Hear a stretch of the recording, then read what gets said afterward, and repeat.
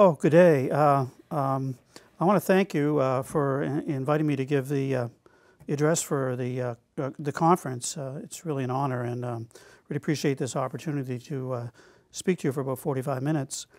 I'd like to also like to thank Tom Halloran who got in touch with me and arranged for me to do it this way.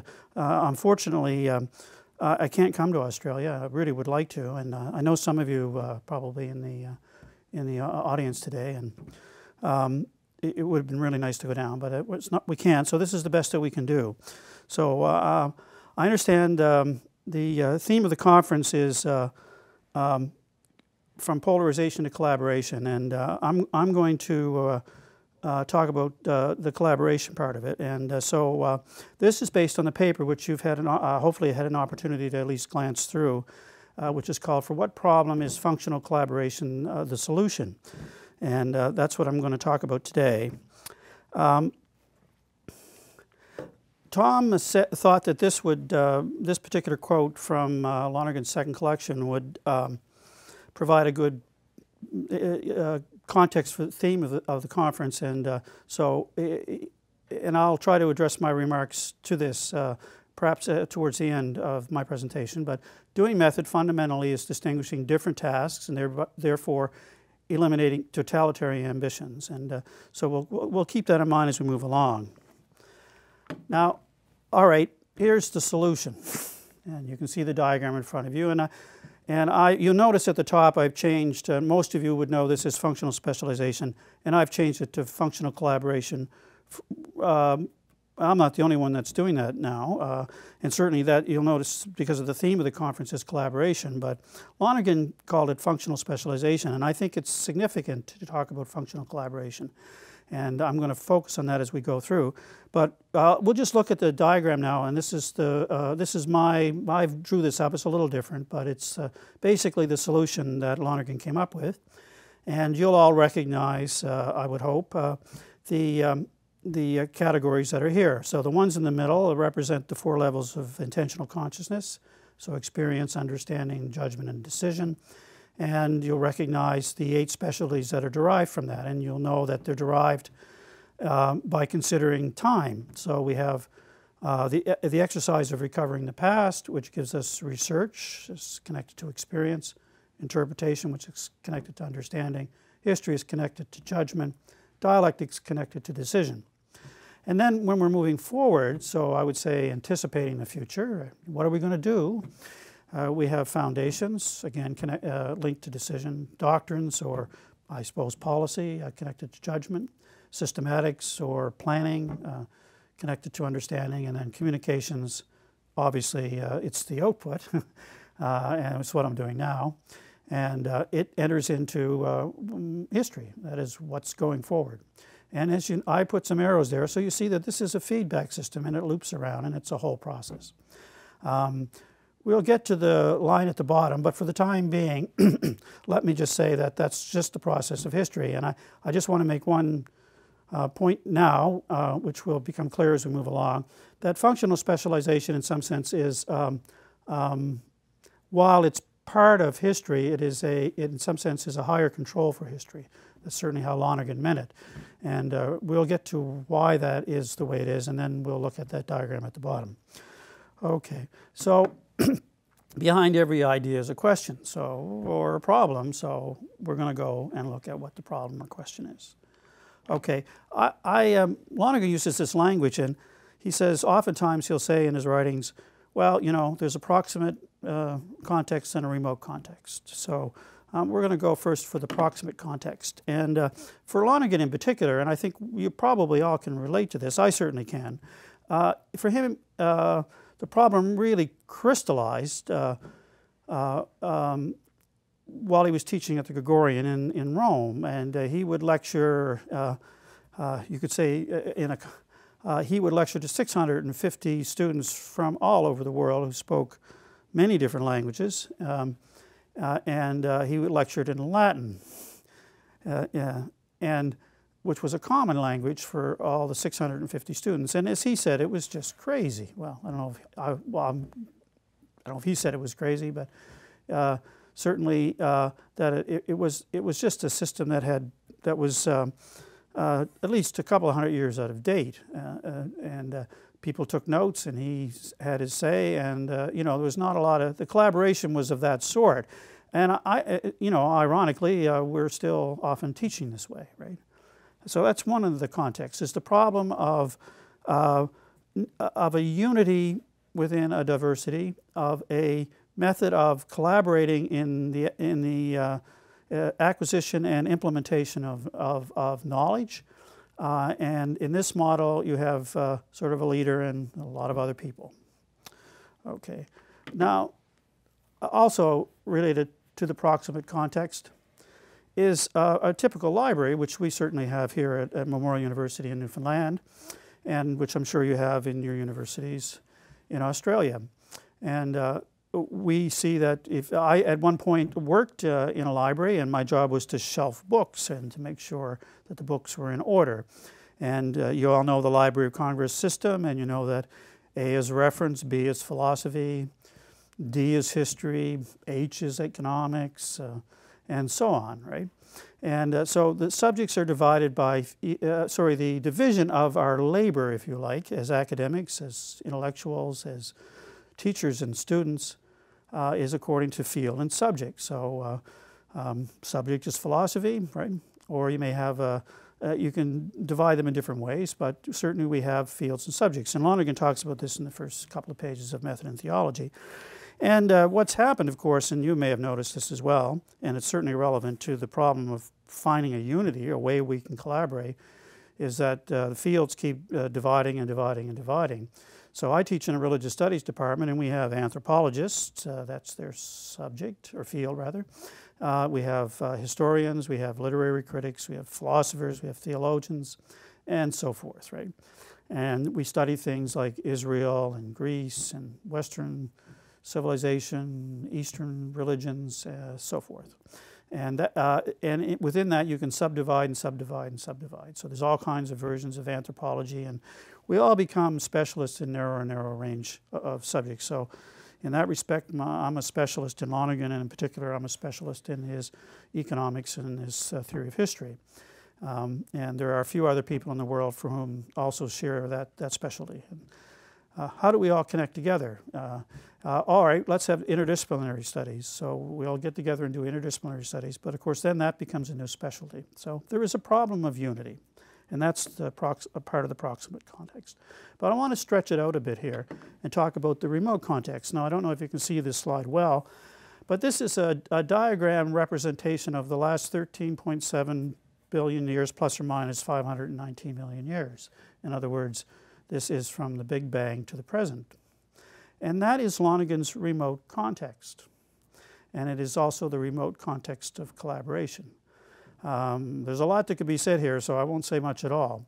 But I'll just point out, if you look at the slide, that we come into existence, that is the human species, uh, at, uh, at the very edge of this diagram, not the bright side, uh, um, but the open-ended side.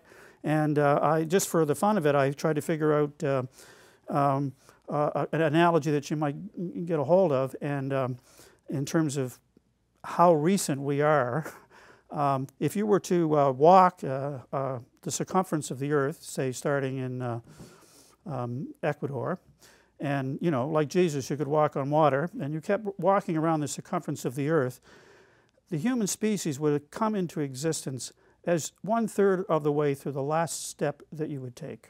So the remote context is the entirety of the history of the universe, including course, evolution and the entirety of history.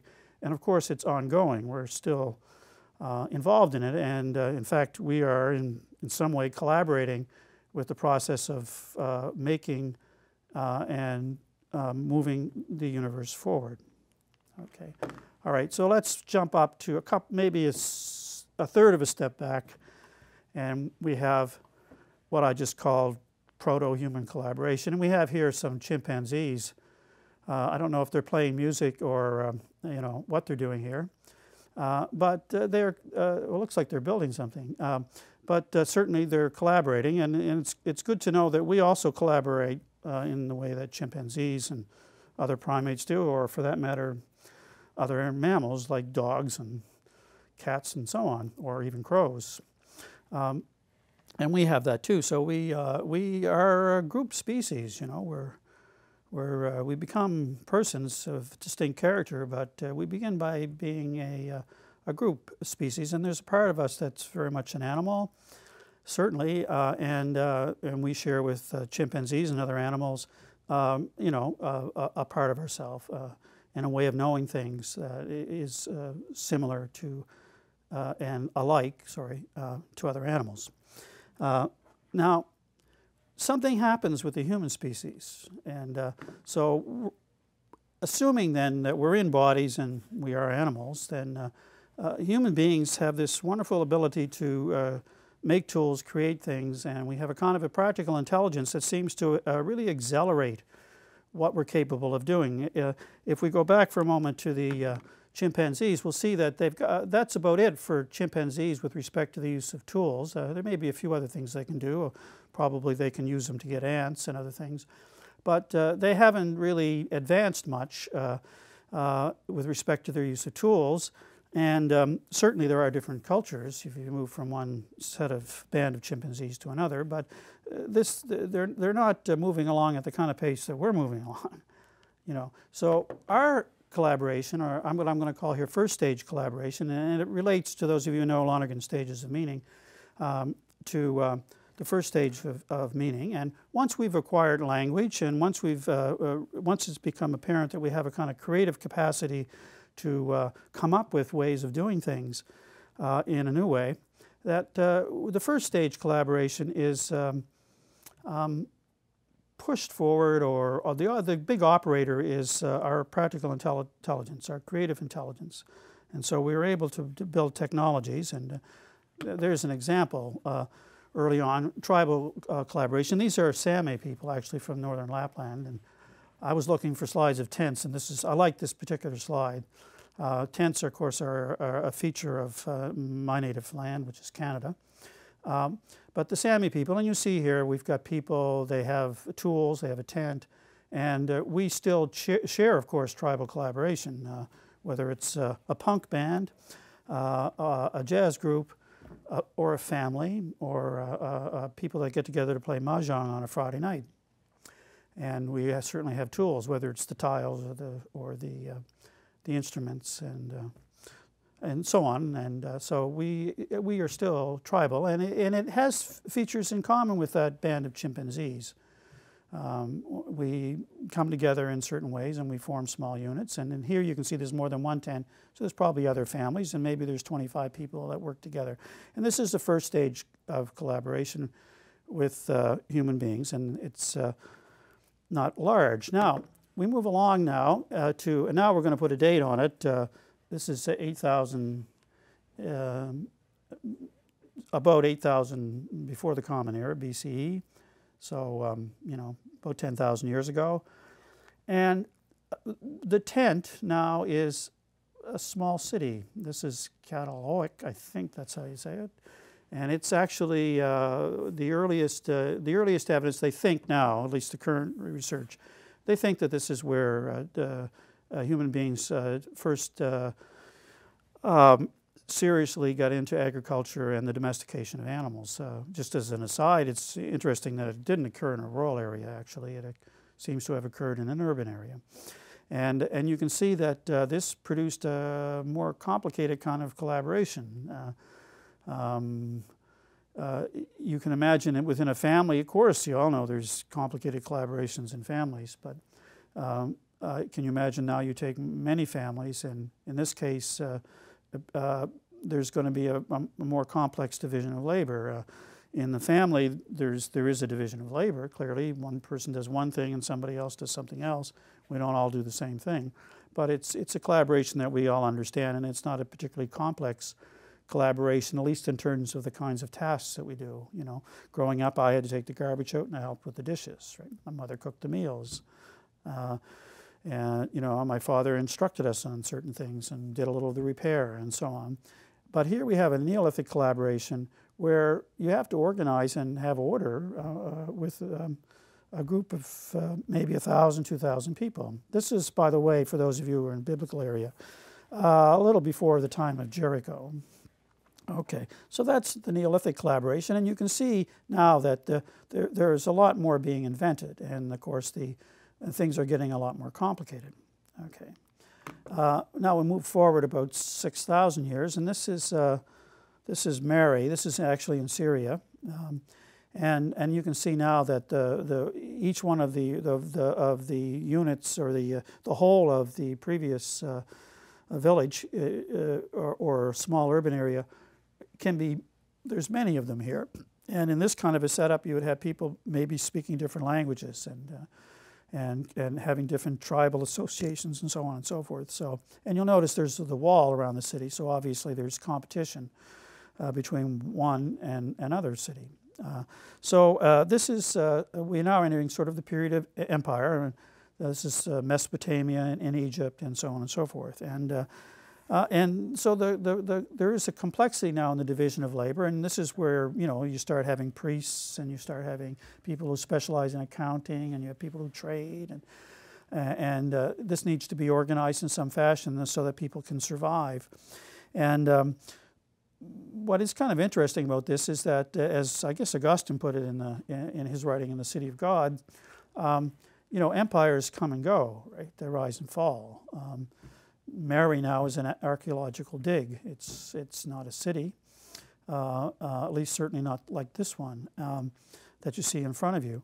Um, and so there's what we're coming to, and I'm moving right along here in a wide sweep of history, but what we're coming to is a, um, a, a, a, a, kind of limit, if you will, uh, uh, to which, for which, for the development of practical intelligence, or for, and what I mean by that is that um, empires and the fact that they lead to wars and, and rises and falls in that way, uh, human beings uh, are wondering how to organize this, right? How do you deal now with uh, different cultures all in one place, different languages all in one place? Um, how do you deal now with trade? How do you deal with the fact that the horizon of, uh, of empires actually extends beyond the city to include, say, the whole Mesopotamian Valley or all of the Nile or all of the Ganges or the Indus Valley or the Yellow Valley or the Andes? Um, uh, so uh, there's a new kind of um, problem and uh, that's emerging. And uh, uh, Jaspers came up with this, and I'm going to use this as an example. It's a convenient example, I think. Um, uh, there's many ways of understanding the term axial, but certainly Karl Jaspers, a German philosopher, came up with the idea of axial periods. And what he's saying is there's a certain there's a certain point which he identified with the emergence of world religions, uh, and the emergence of, of philosophy where people were seeking a way of understanding the unity of what is now a whole species in which there are different groups. Um, and uh, so uh, what you, tribal religion worked fine, and in the empire, the guy who was running the show could uh, impose the tri- you know the, the religion of that group on others. But now you have situations in where where at least some people are, are, are wondering how do we handle the unity uh, of all of us beyond just our tribal identifications or our city identifications. And there are questions about the nature uh, that are, we're always there about who we are because human beings ask those kinds of questions. Uh, and uh, how do we make some sense of those things? Uh, and so there, there's emerging, if you will, a period of deep location. Now, Lonergan identifies, he does not actually talk about axial periods, but he does talk about a shift between a first and a second stage of meaning or a first or second plateau in history.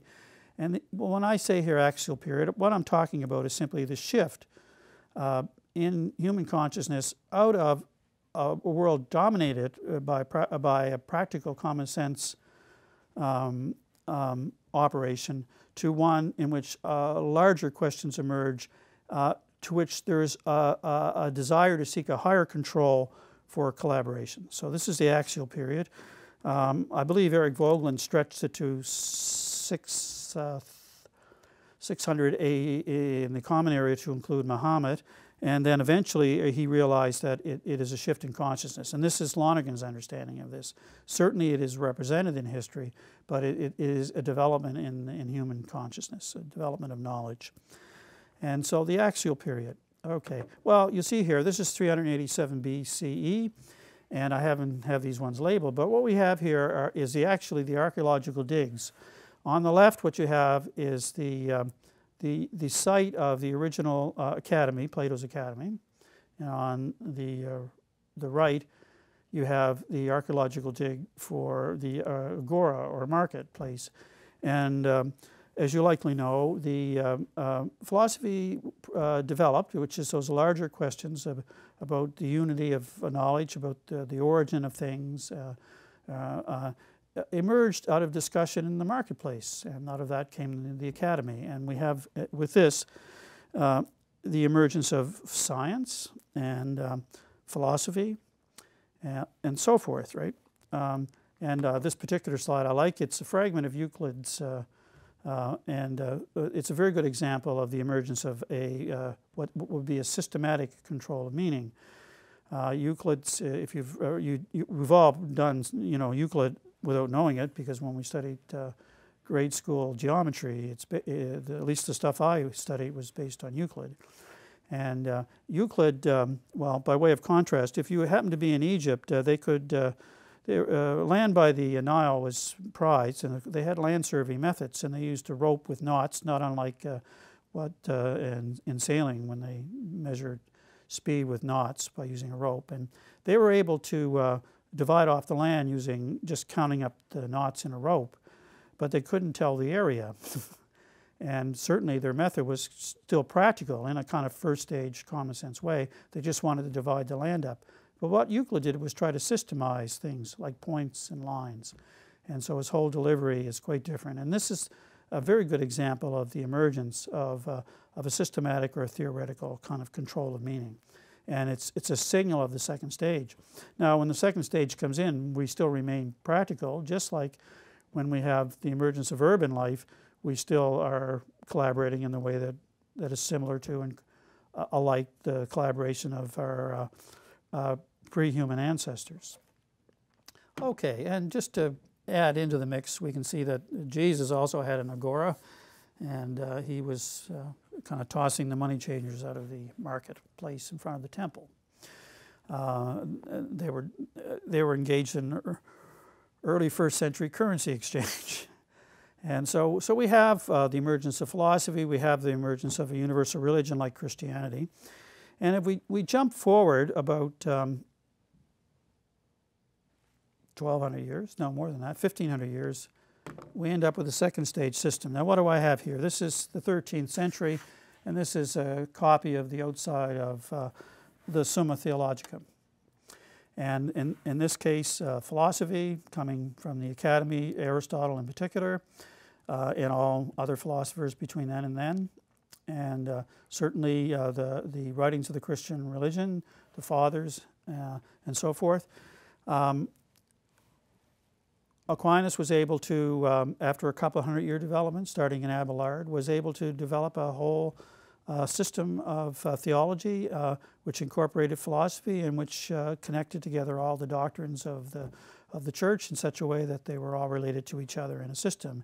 And it was this system, of course, that Lonergan uh, inherited in a, uh, in a, you know, essentially, uh, uh, in, in, which he taught from when he taught at the Gregorian in, in, the, in the 1950s and early 60s. So this is second stage system, and you can see how it bears practically. So uh, we have the, uh, this happens to be the Salisbury Cathedral. Okay. Um, now, we have a new thing emerging here, and uh, it probably started with the, with the um, with the monks in the 13th century, but certainly uh, uh, this was an important uh, moment, I think. And uh, this is uh, uh, Galileo, who, in a sense, is the most significant early experimental scientist. he came up with the law of falling bodies, and he actually confirmed Galileo's theory that the, the um, Earth went around the sun rather than the sun went around the Earth, which to the practical minded, quite obviously, if you look out the, the sun goes around the earth. certainly did this morning when I came in. But, um, uh, but in actual fact, it, it, appears that that's not the case. And, and Galileo was able to take advantage of emerging technology, which was the telescope, which had been invented a few years before. And he was able to put his telescope to the sky and discover that, uh, for example, Jupiter had moons. And so Galileo uh, defended uh, the Copernican view, which went against the view taught in the system, uh, which, the, which was um, um, taught and preached uh, in, in the Christian church. And so you have, of course, Galileo being condemned. um, okay, so a consequence of a new idea. Uh, so there's something new happening uh, with the emergence of empirical science. In fact, it's very important. Uh, Lonergan recognized it, and he's fond of quoting Herbert Butterfield uh, in saying that the, the scientific revolution was uh, the, the Reformation is just a minor displacement within a system, but the scientific revolution is the start of something new. And this looks forward to the kind of situation that we're in now. So certainly uh, uh, the scientific revolution is important, and it challenges Aristotle's science. Uh, but secondly, we have, uh, and I, this figure I like, Giamban uh, uh, Vico, uh, Giambattista Vico, excuse me, who wrote the new, uh, the, the, new science. And he, this is in many ways the first um, instance of a clear understanding of his, histori- what we would call historicity, or which Lonergan calls historical mindedness. And it's, the, it, and, and it's a very significant development, uh, uh, and it, it is as significant as the development of science. Um, it, with historicity, we come to recognize, for example, that there's not just one culture, there's many cultures.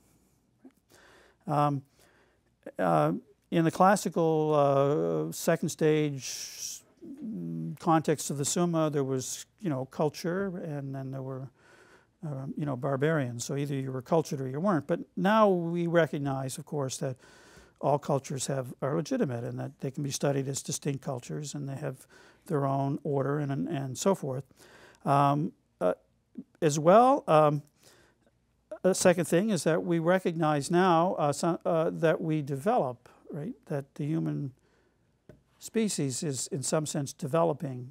Um, uh, that I suppose in the larger sense, part of the whole um, process of evolution, which will come a little later with Darwin, but also um, that, um, well, if we take, uh, say, the, the, field of moral uh, philosophy, in a classical sense, you know, you had moral principles that were true always and everywhere, and then, uh, you know, particular events were contingents. They were known as operables. They were accidents uh, to which you would apply your theory. Uh, but uh, in this context, if you were looking at, say, this, the study of ethics, what you're looking, what you um, need to grasp is that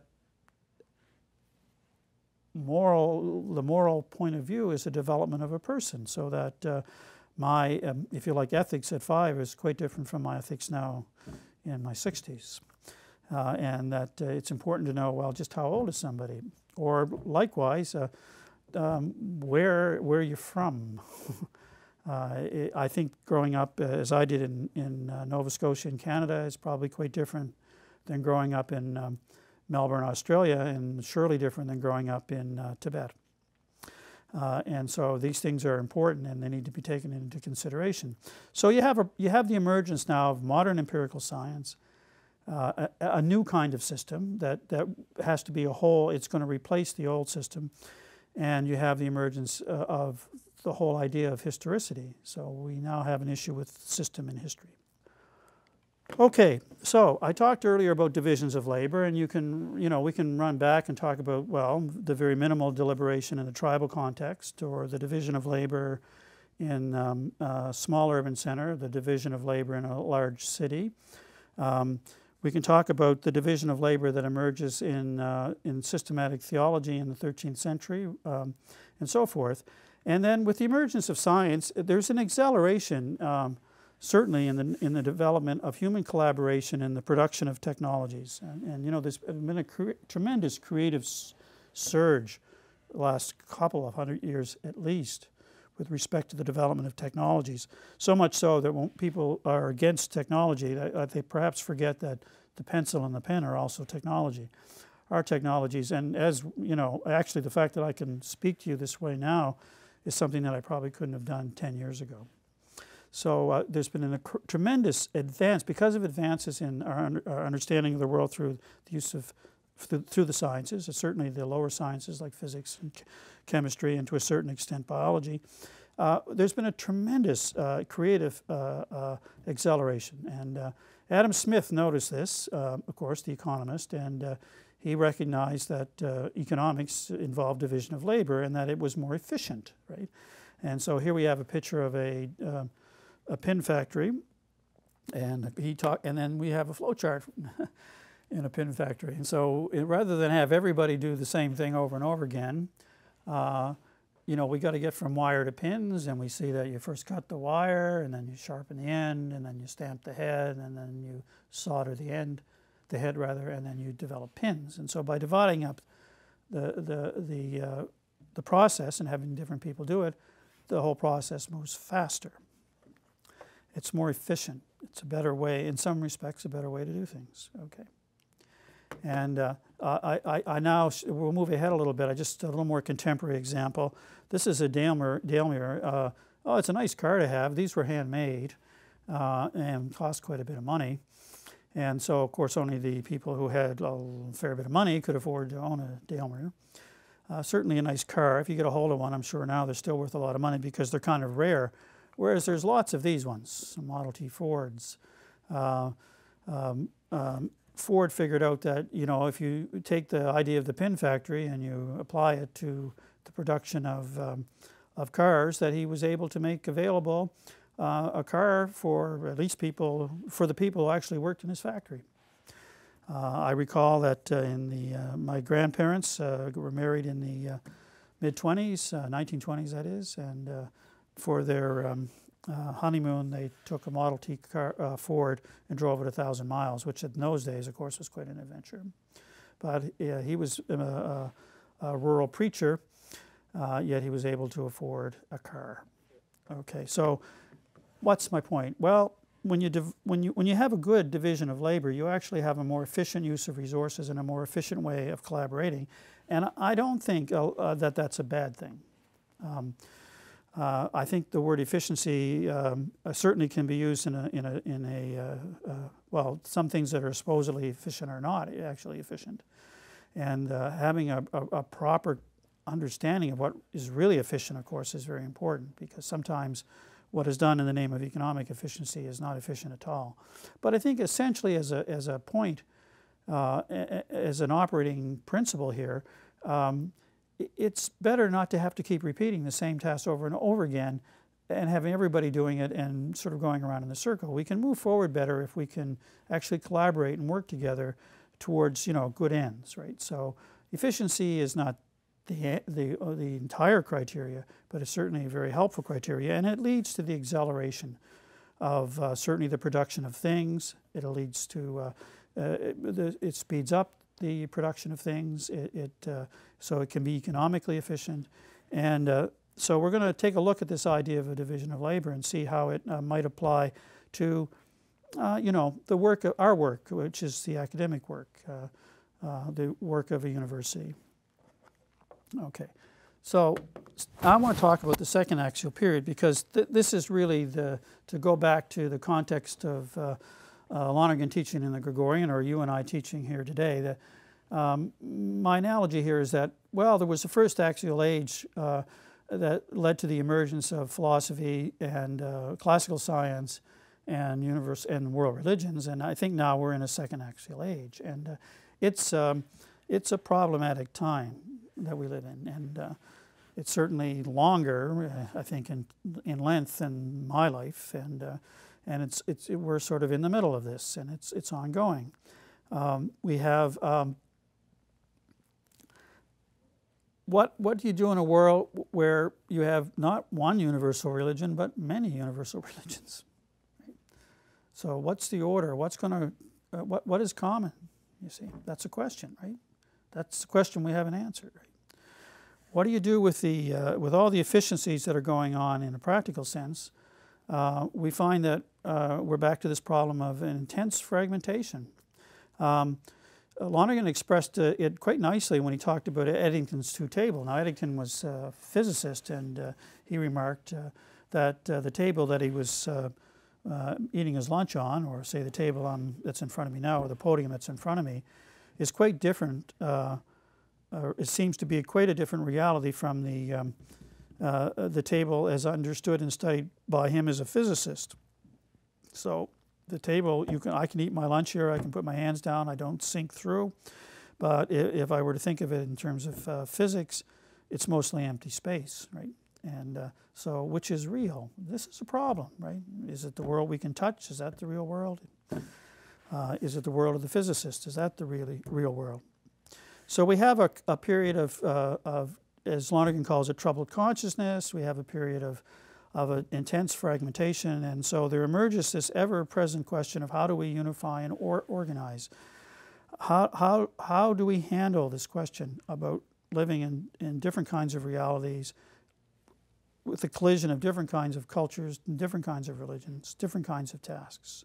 How are we going to organize our work?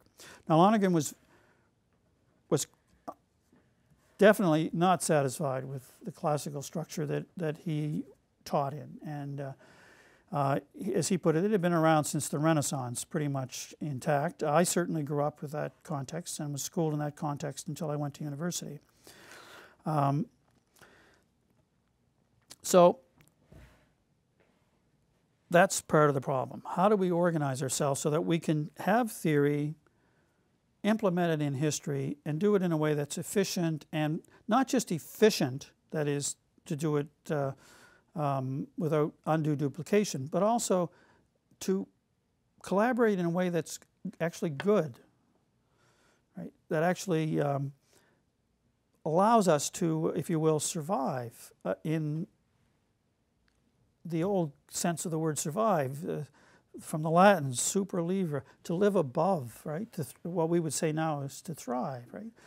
You know, how is it that we uh, are going to thrive? How do we handle and deal with um, uh, the conflicts in the world, uh, with the, the, kinds of problems that we're creating, whether it's in the environment or the terrible economic uh, issues that we have on the go and so forth.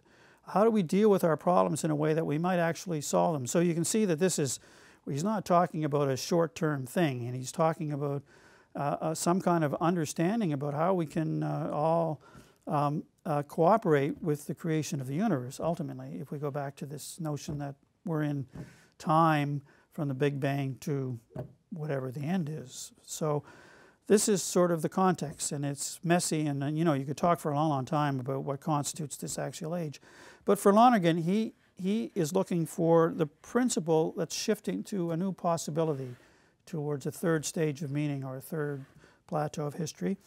And, uh, and I mean, this is a Lonergan conference, and you're probably uh, all, at least to some degree, aware of his exploration of cognitional theory. So um, he, he uh, saw that, or he understood rather, I shouldn't even use the word saw, he, he understood that there was an intelligence that was commonsensical that, and practical, and that there was an, an intelligence that was theoretical, and that the common sense intelligence was you know, for the here and now, it's a practical issue. You know, in my case right now, I need to have cheat sheets in front of me. You can't see them, but I can. I have a watch to keep uh, track of the time and so forth. So that's common sense intelligence. But I'm alluding to um, um, a theory, right, that involves axial periods, stages of meaning, uh, an understanding of, uh, of e evolution and history. And uh, what I'm trying to communicate actually is not immediately practical. Uh, what's the connection between the two, right? Okay, so, uh, and he, his way of threading that needle or his solution was to come to recognize that there is common to both common sense and practical reasoning uh, or intelligence, that common to this was uh, uh, that we could find, if we were to explore the, our acts of consciousness, uh, our acts of intentional consciousness, if we looked at how we know in both instances, we would find that despite the different intents of common sense and theory, that, we, that there is a, a, a common um, source in universal, in, in, sorry, in human knowing uh, that was there all along, right? And he called this interiority. So, and uh, Uh, so he uh, came up with something that he, he called generalized empirical method, right, where you consider both the, uh, the uh, well, to use the quote from second collection that people often do, you don't understand objects without understanding the subject that intends the object, and you can't understand the subjects without understanding the objects that they intend. And it is this is the basis, this was the preliminary to his great discovery of functional specialization. Now, so now we can go to the diagram, right? And uh, we can see that uh, what he has here, if we look at, um, I have below C to E, right? And, uh, um, and you, could, you could speak about history, and I'll put this in a kind of Christian context. We have C as in creation, and we have E as in end. So uh, I'm stretching out the notion of common era to include everything from the beginning to the end, right? You know, yeah. And that's history, and it is always uh, going to be practical. Um, you to actually do something, you have to be practical. Right? Um, however, if you take if you have an understanding of the levels of consciousness, he was you're able to come up with a nice, neat division of this labor, right? so that you can kind of specialize in an area without having to, to do all the rest. Now, obviously, it helps if you have a standard model to work with so uh, that everybody appreciates that this is the new division of labor, that it's not going to be based solely on subject or field, but that in every subject and field there will always be an element of research. In other words, we need data to work with. There will always be um, an element of saying, well, what does that mean, right? In other words, we need to understand what the data is, and that would be an interpretation. It's certainly, if we're thinking about, well, what's going forward uh, in, in the text, for example, then we can talk about a history. And, uh, this, and history is a judgment about what's actually moving forward, right? And finally, what happens if you and I come up with different, uh, well, focus on different data, come up with different interpretations, tell a different story, have a different history? then we have to have a way of working out those differences, right? And that is di dialectic. So we can, in a sense, listen to all of history and do so in a way that we can be up to date, come up with the best views. And that's the first task. It's a recovery of the past, right? So we recover the past and we're trying to recycle. We're trying to find the good ideas that are there, trying to understand how it is we got to where we got uh, to have a good appreciation, in this sense, uh, I suppose, of our traditions, right? And to reach the best available uh, expression of that. So we listen to the past, and then we say, you know, kind of, well, now what? and so we need to anticipate the future. So we're going to work together to create something, and so we have foundations, which is to articulate uh, the basis on which we uh, can move forward, doctrines, which are the, or policies, uh, which are the the truths that emerge, you know, uh, um, you know, haste makes waste. Well, there's a doctrine, right? Uh, systematics uh, is, a, is an effort to plan, and, it, and it's, and, and it's, uh, a, uh, it's planning, an or, uh, ordered, organized planning that takes into account, you know, the development of the species from creation on forward, right? And then the effort to communicate, like I am now, to take an idea and com communicate it out. So right at the moment, I suppose, in a way, you'd say that I'm working in the functional specialty of communications. And to do that, I need to have some understanding of, uh, of the results that have preceded me. And you see that if I do communicate, I, my words are now entering into history, and uh, they are data for your understanding. And so the cycle repeats itself, right? And uh, so uh, to go to uh, the quote that Tom uh, sent me in the first instance, uh, you can see that this, is a, this allows for a unified, um, I would use the word control, uh, simply in the good sense of the word that uh, you have a control of a boiler, for example, uh, so that things don't, you know, like blow up. you need something that measures and controls, that helps us to move forward uh, in a, in, and divides up the tasks so that uh, I myself, in my work, I've stuck to doing research and interpretation, and uh, that's where I publish my work. And uh, I, ha I, have thoughts about all the other ones, but I'm quite happy to just uh, work away on uh, collecting data and, and, understanding context. So that's the kind of work I do. But I, I realize that it, it, hopefully in the future will be part of a project where other people are doing other parts of the work. I'm not inclined to dialectic, uh, but I have I know people who are, and so on. Uh, and uh, so I can pass along what I learn in, in, in, in, by, say, researching in Lonergan's economics, which I do, or interpreting the texts, that this is available for somebody who wants to do something in the history of economics or the history of uh, theology and so forth. So functional collaboration is essentially, a, it's a division of labor that makes more efficient in the best sense of the word, allows us to collaborate for some good, for good ends, so that we can actually collaborate not only with ourselves, but collaborate with the creation of the universe. Okay, and so you can kind of imagine what third stage collaboration might, might look like. And when I was casting about for slides, I thought, oh, this one looks pretty good. Everyone's on the floor. It looks a little loose. Uh, um, uh, people are uh, talking in groups, um, but they have a common goal, right? Uh, they have a they they they they're they're sort of rowing in the same direction, and there's a creativity to this, right? And it, we're almost back to a picture that might look like the tribe. Uh, that we uh, had at the beginning of, of, of, of, this, uh, this talk. And it's certainly different uh, than the uh, picture of uh, the classroom at the Gregorian with 650 seats and a professor sitting in what looks like a pulpit um, and delivering the word.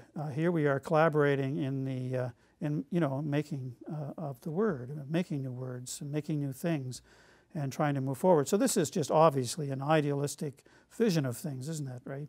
Our collaboration is messy and oftentimes conflictual and uh, goes backwards rather than forward.